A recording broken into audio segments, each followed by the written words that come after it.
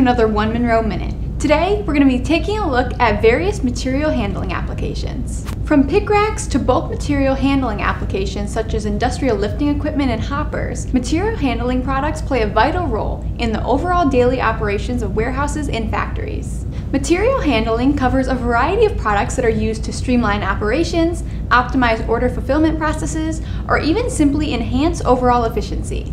These products prove to be just as important as industrial components used in the workplace because it allows for increased safety, efficiency, and productivity, all while maximizing warehouse space and overall workflow. Some of the many material handling products that we offer here at One Monroe include shop and storage solutions, cabinets, trucks and carts, conveyor components, and accessories.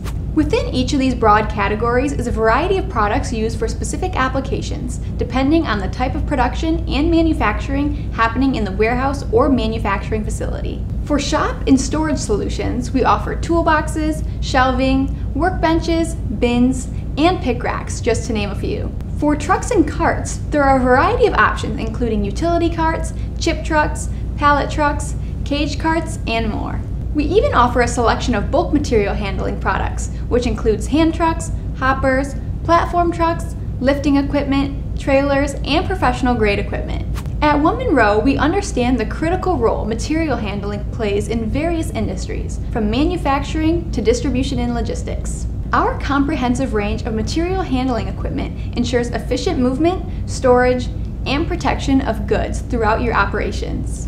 To learn more about all the material handling products that we offer here at One Monroe, be sure to visit our website or get in contact with one of our sales engineers. Thanks for watching this week's video. Don't forget to like and subscribe for more videos in the future, and we'll see you next time with another One Monroe Minute.